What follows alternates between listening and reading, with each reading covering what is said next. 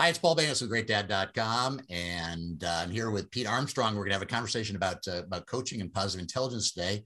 If you don't know GreatDad.com, it's a resource for fathers because dads don't always think like moms, and it's important for dads to get uh, supported any way we we can to provide uh, better better experiences for our families and and uh, and our kids.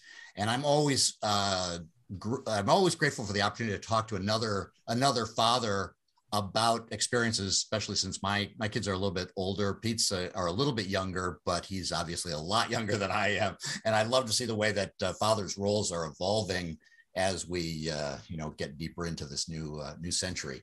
So. Um, Pete, uh, welcome. You your work. You've been doing some uh, positive intelligence coaching. You started your coaching journey a little bit earlier than I did in 2018, so you've got some things that you can teach me here. But I want to first of all welcome you to the welcome you to the podcast. Thank you, Paul. It's a privilege. Thank you. Yeah. So I want to hear about your your experience first of all uh, about coaching, and then we'll talk about how positive intelligence uh, has added on to to your skills and why you you think it's the, in your words, is really now a key part of your coaching uh, tool toolkit. Sure.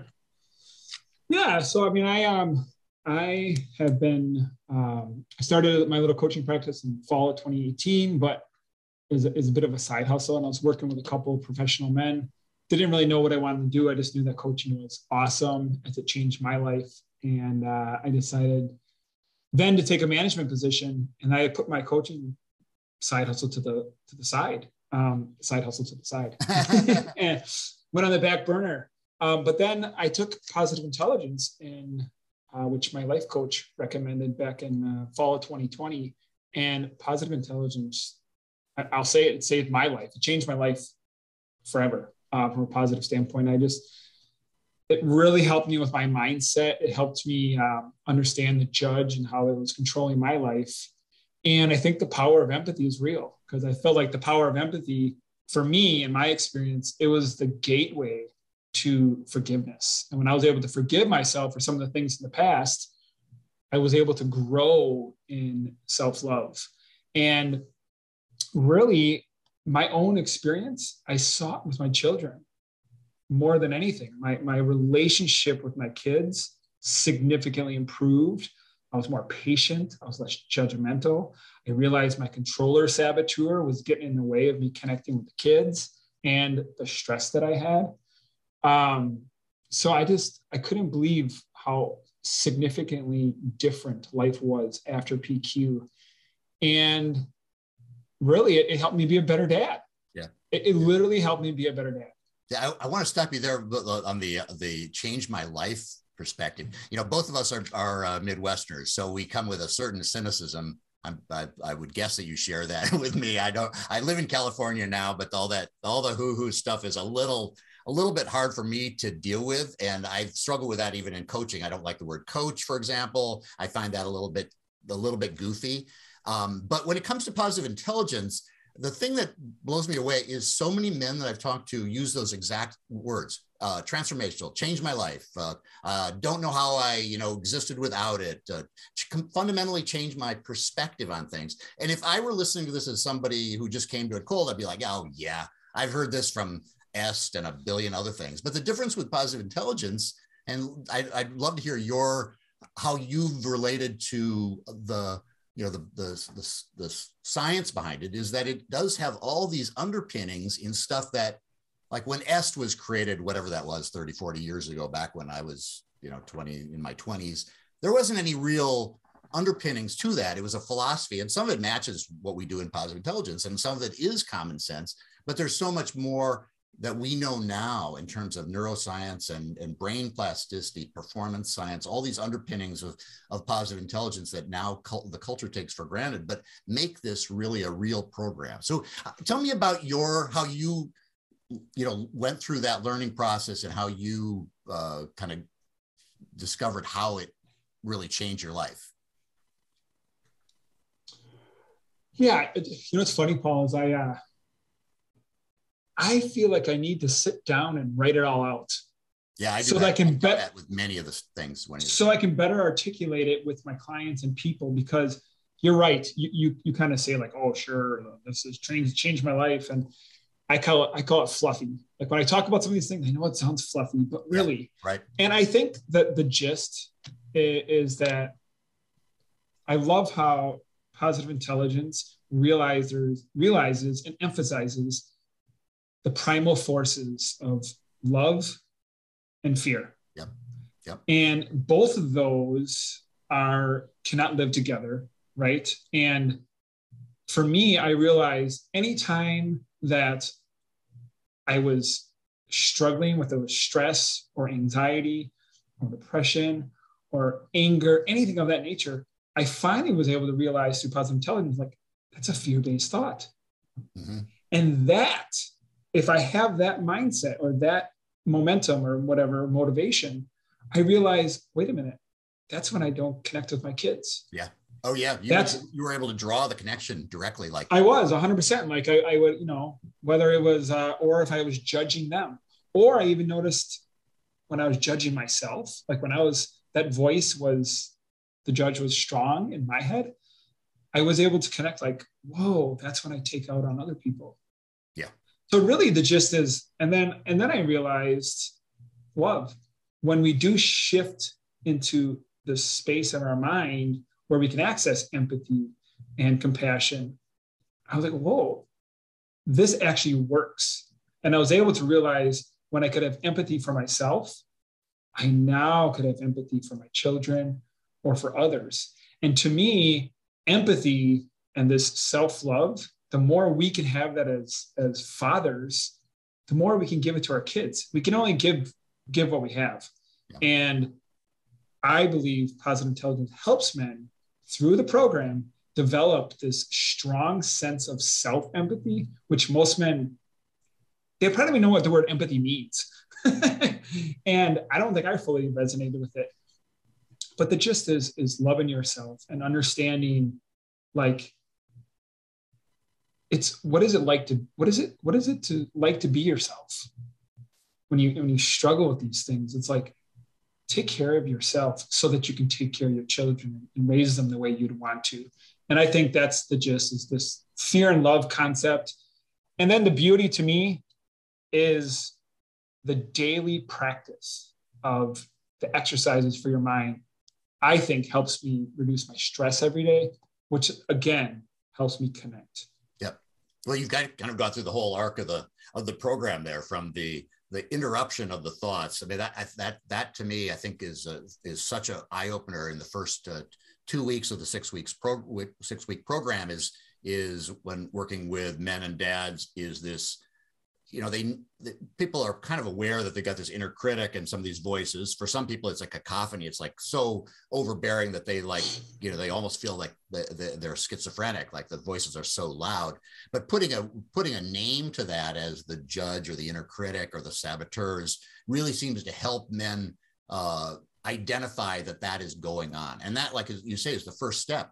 And just i loved your example with the with the kids is that if you're judging the situation, you know, crappy meal my wife just made, or or you're you're you're judging their performance at school rather than listening, you're not in the moment in those relationships. You're you're judging, you're ruining the opportunity for getting closer to your family by letting those voices overpower you. And I think the rational thing is you're you're thinking, oh, these are rational thoughts. These are things that are that are uh, that are appropriate. But that are helping the learn, kids. yeah, once you learn that they are, yeah, they're appropriate for sending a signal. Okay, wife's a lousy cook. Maybe she shouldn't be doing, uh, you know, cooking school or anything. Or the kids have grading problems. Yeah, these are real things. But if you let them dominate your your whole mindset for the moment, you're missing out on an opportunity to to connect instead of just using them as signals. Yeah, and and and here's the thing. You know, my faith is important to me, but we are created for relationship. Mm-hmm. It's our primary need, you know. And for me, I've always yearned since I can remember for this deeply intimate relationship with somebody, like to be connected, to have that, that just I, have loved a relationship, love my friends, my siblings, you know, and I've had some broken ones in the past. And I think positive intelligence helps us understand what is required for us if we really want to have a deeply meaningful, mm-hmm. loving relationship. And I think for us, I think what positive intelligence does, it, it helps us work on the things that are in the way, yeah. like fear. Yeah.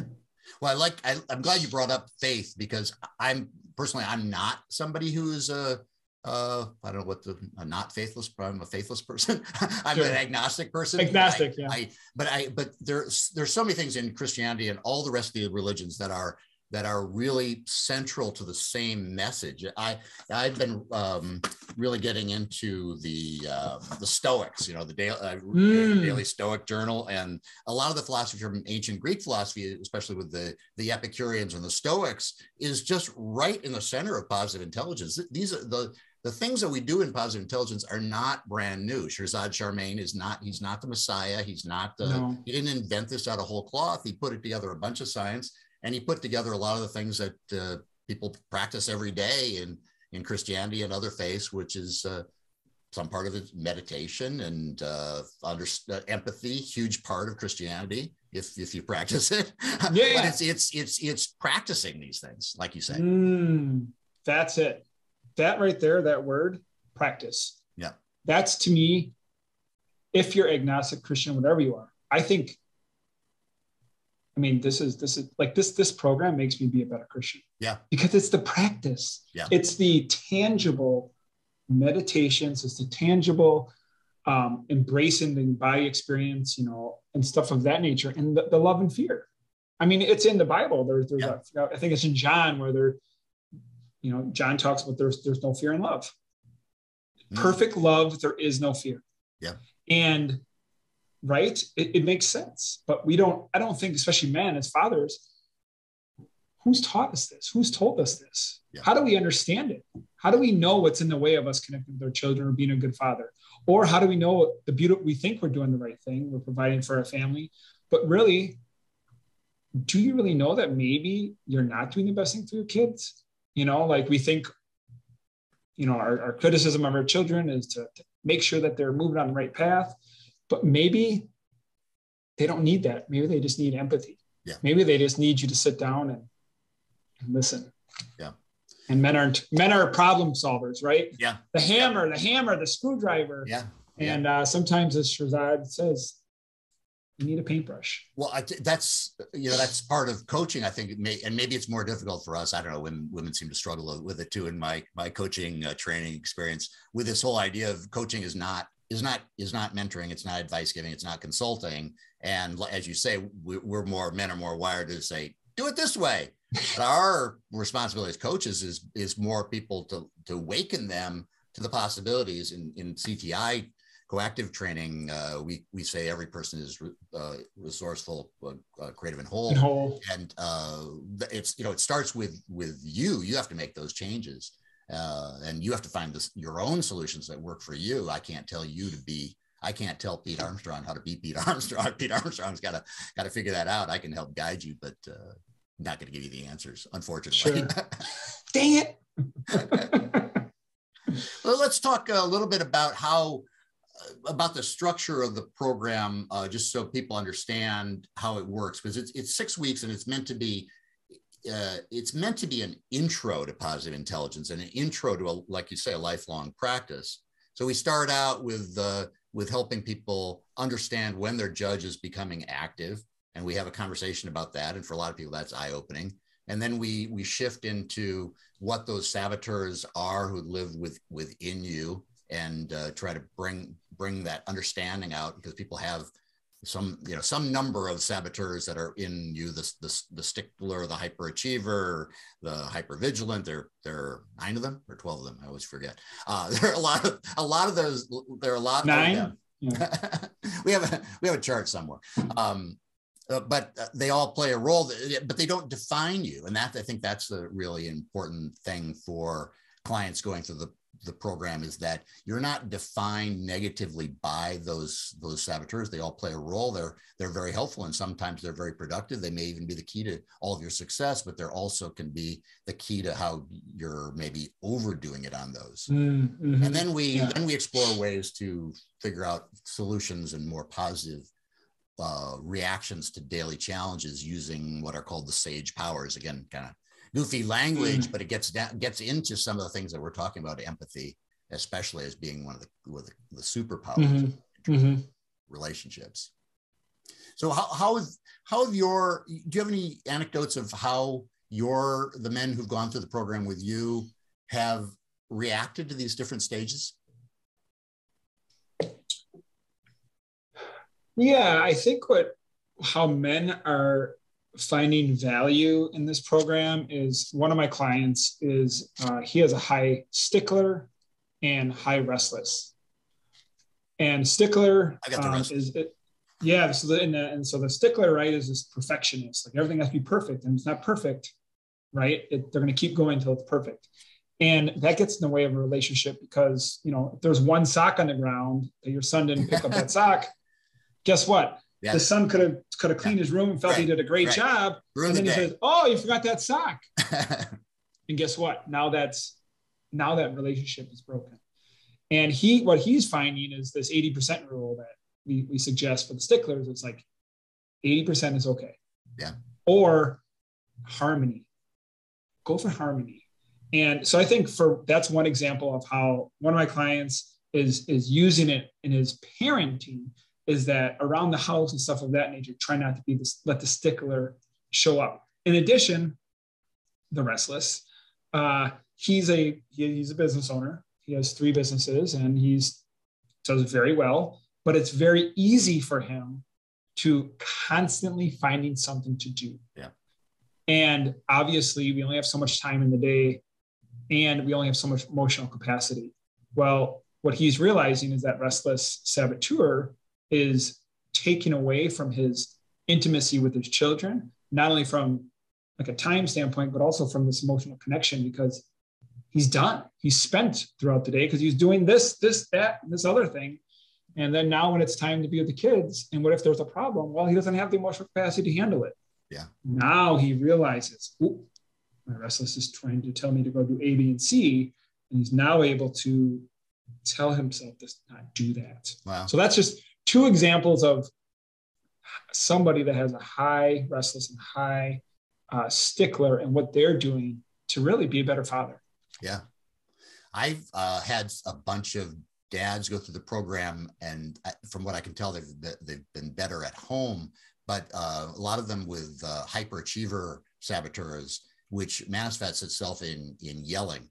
Uh, mm. you know, hmm. being in in business, being business leaders, being fairly successful uh, managerial types, but the way they've always managed is just to scream and yell all the time. And perfectly nice people, you know, but uh, but the, in at least in the way in their telling, they yell all the time, and mm. just understanding that they're doing that and that might not be the most appropriate response is uh, is shocking to them. Uh, mm. Well, anecdotally, I I also as a father have struggled with yelling, and without a doubt, positive. And I have a high hyperachiever, high avoider, and high controller, and I use yelling as a as a means to uh, get my point across or discipline. Uh, and without a doubt, positive intelligence has significantly reduced the amount and like the intensity of my yelling. Like my now I might yell, I might have a justifiable anger. Oh yeah. Which is which is which is different yeah. than doing it straight out of fear. Because right, even the yelling and that, that if that's coming from anger, it could be coming from fear, and some of that fear is not it's not necessary, mm-hmm. uh, nor is it effective. From right, again, if we're designed for relationship and and love, you're, you're, you're again interrupting that connection that regardless if it's a man or not or a father we yearn for connection Mm-hmm. We yearn for a deeply intimate relationship with our children or even our, our coworkers uh, or our team. And fear can get in the way of that, I think. Yeah. So it, it is interesting. You, you, uh, you've had some fathers go through the program as fathers, but a lot of them, like me, have been also they came because of the mental fitness aspect. We're kind of marketed as mental fitness, though it has this family dynamic component. And as I say in coaching, almost all coaching, even if it starts out with, you know, uh, management effectiveness, it professional, yeah, yeah, comes into the it always comes into the home. But it's it's kind of interesting how uh, somebody who might do do positive intelligence for the family aspect brings those skills into the workplace. Uh, tell, tell me a little bit about what your experience has been with people in uh, in management and how they've used it. Uh, we'll go back to this. My one client, he uh, business owner, right? I mean, he has hundreds of people under him. Hmm. He has shared. Uh, well, here's two beautiful things. One is he said he's more empathetic because he's learned how to be empathetic with himself, and then he now he's more empathetic with his team. And he's given me he gave an example the other day. Uh, one of his managers has a lot of anxiety, and his manager came in and was just kind of you know discombobulated. And typically, he, in the past, he would be like, basically, get your SHIT together and let's go. But this t- now, what he did is he actually sat the guy down and talked to him. Said, "Hey, what's going on?" and he was able to empathize with that with him and realize that this person's struggling and i i mean i got chills when he told me that because that was his he, he never has done done that before yeah and um, this is just an example of what this program can offer and then the, the result what's the result of that that person that manager who's responsible for you know, 15 20 people below him that entire day went phenomenal and now their relationship he said he's he's seeing the relationship blossom mm-hmm. just by that one time, that one empathetic conversation. Mm-hmm. So that's one example. Yeah, yeah. So in, in the program, uh, we do we we use an app to keep up everybody on track, and and there's there's there's a video that people watch over the weekend to, to talk about the concepts that we're going to do and we're going to discuss during the week. And the uh, the other major component is is what's called group coaching, where we're with a with a group of the people. It could be men and women. In our case, it's uh, usually all all men. Um, how have you found those sessions to be? Uh, I, I, you know, I, when I've gotten get guys together, uh, and I like doing all men rather than having women in the group because it kind of the, the the chemistry I think changes quite often when men are with women. They trying to they they have a the tendency to to want to impress the women, I think, or or be a way maybe they aren't when they are with mm. other guys. Of course, being with other guys creates other other dynamics. But what I've been surprised at how willing people have been to uh, maybe first, first of all share experiences that are at work, and that's kind of a way into to talking about some of the other the other personal issues. Mm. That what mm. has that been what you've seen? Well, I would say one. So when I, this is my experience. When I went through positive intelligence, uh, I did it with three other guys, and uh, two of the guys uh, are dads. The other guy is a, a stepfather. He doesn't have children of his own. But what was interesting is that I invited the guys. I was like the, the connector. I invited the guys to go through the program together. I was going through a divorce, and I was like, I needed some support. Me- mental fitness sounds awesome to me. Yeah. And what I saw, and I was to this day, it brings me joy, is like, I'm, I'm a pretty vulnerable guy and emotional. It's just who I am. And I led with that in the program. And because I led with it, they all opened up and they did talk about work. But I would say, if there was a measurement, I would say 90% of the time we talked about fatherhood and marriage. And um, I don't think men usually do that in, in, such a raw and vulnerable way. I mean, they were saying things that I was surprised some of these guys uh, were saying. For example, one of the guys, I wasn't even going to invite him to join me because I was like, oh, he's he's doing so well. He's wealthy. He's a he's a business owner. He's got his stuff together. He doesn't need this program. Well, I'm sure glad I invited him because it changed his life. One of the guys. Yeah. So we never know. We never know what men are. Men don't share. You know, men yeah. men are strong yeah. and. But yeah, I don't want. I, I don't want. To, at the same time, I don't want to scare people off uh, out of the of doing it because they think they're going to be forced to be, you know, vulnerable and cry in the in the group. But but it is a it is an opportunity to to talk about some of these things, like you say, because men don't necessarily share about some of the challenges. And when you're working through, you know, how to face life's challenges in this program, ostensibly to be develop your mental fitness and develop more positive reactions, you're clearly going to get into some of those stories of what what are challenges in the day. And some of those do get a little, you know, deeper than maybe we're, we're used to.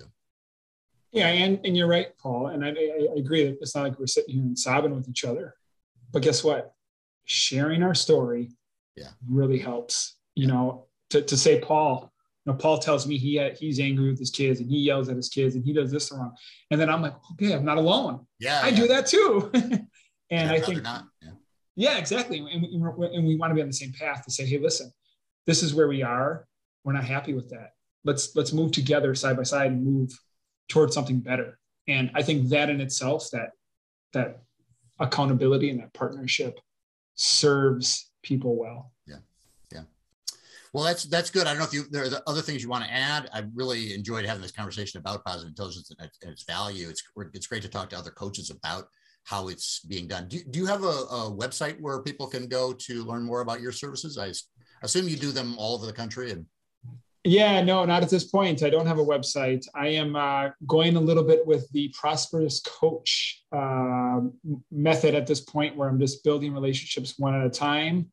And um, so I don't have a website right now, but people can can email me if they're interested at peteinspires at gmail.com. And I'd be happy to start the relationship with you and see how I can best serve you. That sounds great. I, I assume you do uh, coaching across the country, not just in in Wisconsin. Yep, absolutely, 100%. Uh, majority of it is uh, virtual. Obviously, if you're in Madison, well, uh, there's nothing better than sitting down together. But I do a lot of my uh, coaching virtual or by phone. Absolutely. Yeah. Okay. Uh, and to learn more about uh, my coaching, you can go to greatdad.com or greatdad.com slash PQ to learn more about positive intelligence. I'm also doing tandem coaching with another mom coach, and we are doing coaching for moms and dads at the same time, men led groups on one side and women led groups on the other with prompts to, to combine that uh, information. And you can learn more at, at uh, greatdad.com slash uh, PQ about that. We have a special going on for, uh, for Valentine's Day. Um, and I do a weekly webinar on Thursdays at 11 o'clock uh, to talk about positive intelligence. It's only 30, 35 minutes and you get a free subscription, one year subscription to read it for me, the the uh, book summary service for development and management techniques. So I I um, I would invite you to come to to uh, listen to that webinar. And again, those those details are at greatdad.com/pq with a, with a schedule of those. And I appreciate pr- appreciate everybody joining joining them. So Pete, thanks a lot for taking time, and we will post this uh, on the uh, on the Positive Intelligence channel for all the other coaches. And uh, I will see you in the community. All right. Thank you, Paul. Thanks a lot. Appreciate it. Take care.